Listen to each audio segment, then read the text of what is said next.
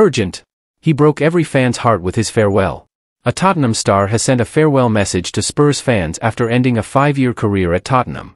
His departure marks not only the end of a cycle at Tottenham, but the beginning of a new chapter in his career. But first, don't forget to like this video and subscribe to the channel so you can stay up to date with all the exclusive Tottenham news. Well done. A player has said goodbye to Tottenham, marking the end of a journey that didn't reach the expected potential due to a series of injuries. And after he left Tottenham, the player went public to express his words of gratitude with the following message. I am eternally grateful to all the Spurs staff, the coaches and teammates with whom I shared these marvelous years and, of course, the fans who never stopped supporting me.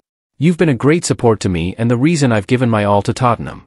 Said Giovanni Lo Celso, who was transferred to Real Betis. What do you think about Lo Celso's farewell? Leave your thoughts in the comments and see you soon.